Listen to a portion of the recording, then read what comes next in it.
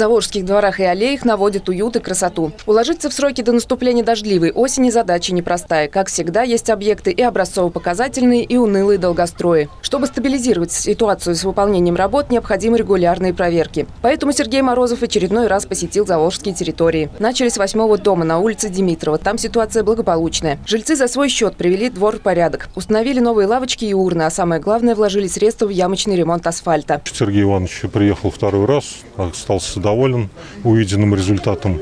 И будем надеяться, что в следующем году все работы, которые у нас э, э, планировались выполнить, они будут э, выполнены.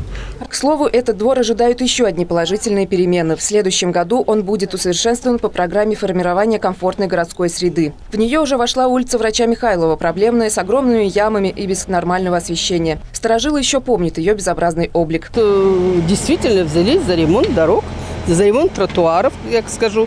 От тротуара, так вообще по врача Михайлова с правой и с левой стороны были отвратительные, отвратительные. Ага. А сейчас, сейчас э, асфальт положили, замечательно стало, то люди падали. Преображение уже началось, только проводится оно очень медленно. Объект должен был быть сдан уже в августе.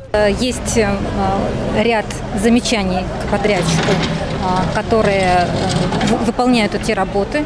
Но в текущий момент э, в рамках контракта у них есть такое право продолжить работы. Еще одна проблема – улицы врача Михайлова. Хаотично разбросанные торговые точки. В скором времени и до них докатится волна перемен в виде аккуратных торговых павильонов. Виктория Черкова, Руслан Баталов. Новости Ульяновской правды.